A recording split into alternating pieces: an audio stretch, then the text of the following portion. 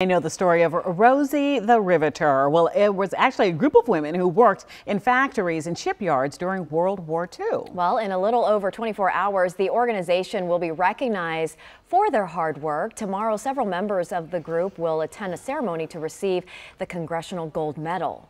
The group flew from San Francisco and landed at Reagan National Airport to huge cheers and applause.